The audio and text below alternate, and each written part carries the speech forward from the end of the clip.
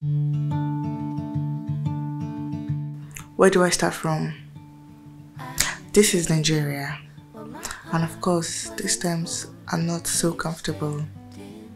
However, there's always a way. You just have to take your time to find it. Finally, when life hits you hard, always remember to it. It's so important.